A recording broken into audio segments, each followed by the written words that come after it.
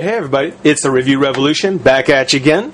And now we're going to take a look at the last, or we're going to wrap up with the last of the NECA Reel Toys Jonah Hex movie figures. And today it is Quentin Turnbull. Uh, Turnbull being the, uh, from what I understand, the most reoccurring villain from the Jonah Hex line or story. Uh, I don't think Hex necessarily has a uh, um, arch villain per se, uh, but uh, Turnbull apparently was the most reoccurring villain, and so he was the one that uh, that they've used here in this first movie. Hopefully, there'll, there'll be more, but we'll talk about that. Um, here we see uh, on, on, the packaging we see Turnbull in the pack, and then in the foreground we've got the card with the profile of Hex, kind of in a shadowy sort of uh, of coloring, which I actually like. It, it really gives the impression that Hex is looking at uh, Quentin, kind of in the background, maybe hiding behind something. I, I, like the way that looks, particularly with the two of them. Didn't really work with Hex in the pack. Didn't really work with uh, with uh, Leela on there, but uh, but it looks actually very cool when you see uh, when you see Turnbull and actually in the box with Hex kind of standing in the foreground. That's actually really cool. Um, sneak peek of the motion comic. Again, I can go over that a little bit more here about when we talk about the movie. But uh, the other figures, as I mentioned, there is Hex. Very good likeness of uh, Josh Brolin.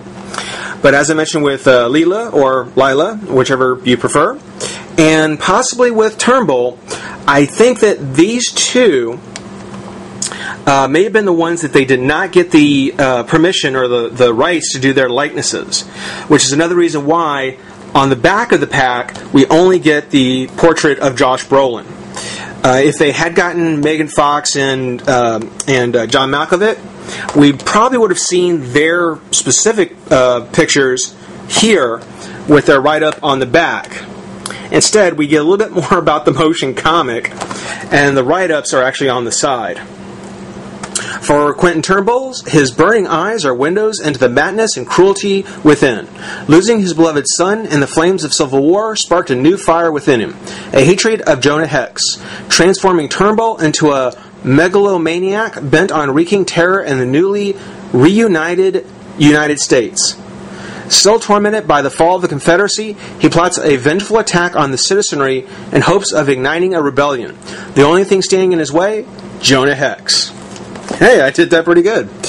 But um, yeah, so that's kind of a look at uh, at the box, at the pack. Seen it a few times already.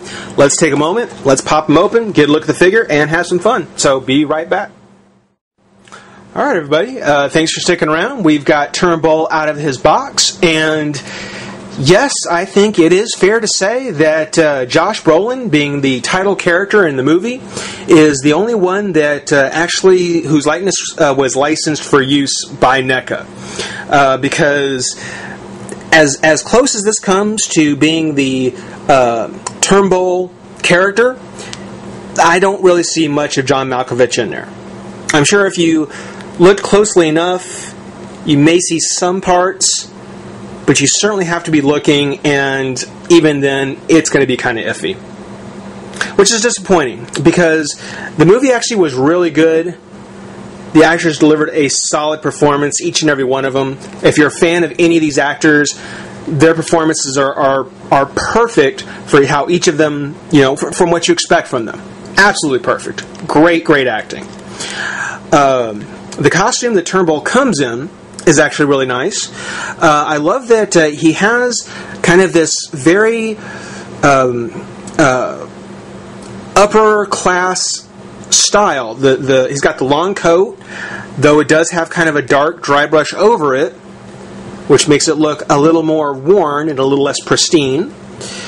Also, in the jacket underneath, it's kind of got a black jacket with some brown dry brush. Again, showing that he may not be a gentleman, a man of wealth, but certainly a man of education, and that makes him dangerous. So, the way the costume is, was put together, the way the character design is set, it's actually really nice. He's got the red vest and the black uh, ascot. There's a slight drop of paint underneath, but you know, uh, uh, keeping clean paint on NECA not always their top priority. Uh, underneath, he has the pinstripe pants and the leather boots, which have kind of the brown, dusty dirt, again showing that he is a man of action. And not, they're not very nice actions, I might say. Uh, the head, of course, the hair has the very nice highlights in it. Uh, the mustache, talking about the paint, it has a very, very light brown, which almost fades into the into the skin tone, and I don't know, maybe that helps uh, uh, the the look to the movie, but it is a little kind of hard to see, a little hard to make out sometimes unless you know you're looking at it in person.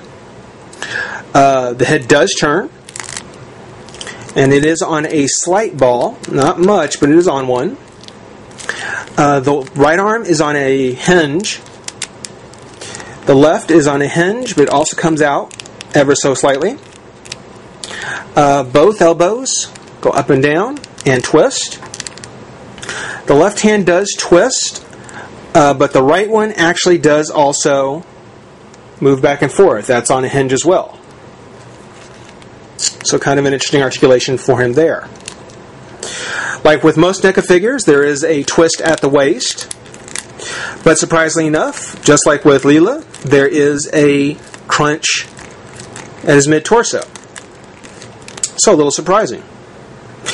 Uh, nothing in the thighs, nothing in the knees, except to say the boots do come out so high, or come up so high, that they twist so that there is some movement in there. It's just not like an actual knee articulation. Uh, one thing that I do want to point out, because it's giving me some trouble, is that one foot has the heel slightly off the ground. So it takes a little takes a little work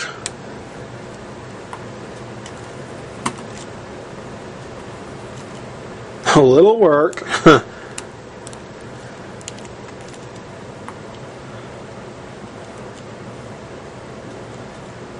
to get him back into place.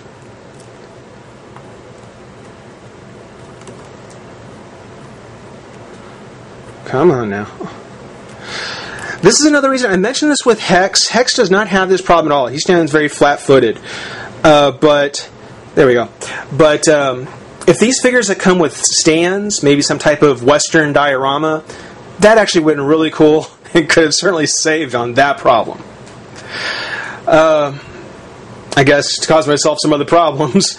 Um, Turnbull does come with his revolver which has a lot of nice detail in it, particularly around the uh, the handle and the trigger.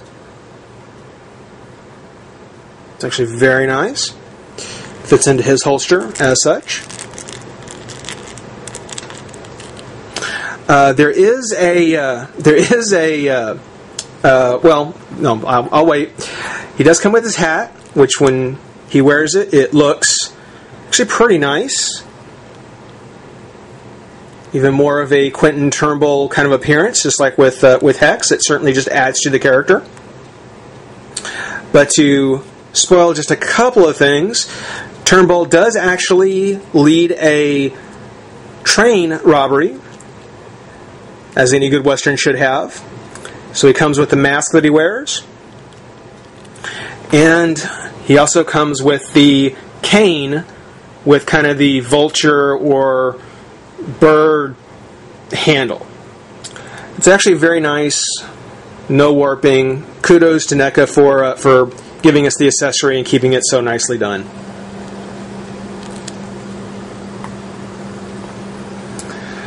So overall, the movie, uh, it it seems a lot like the like a like a sci-fi original, but um, it, it, it, in no way has anything to do with the way the actors performed. They do a great job. Um, the director, how the movie was made, I think that's where the movie suffers the most. But if you can kind of push that aside, if you're looking for just a good, you know, popcorn movie to go see one evening with some friends, certainly recommend it. But uh, this is the Review Revolution, taking a look at the NECA Reel Toys Jonah Hex Quentin Turnbull. Rate comment, subscribe, join the revolution, and we'll see you soon. Bye bye.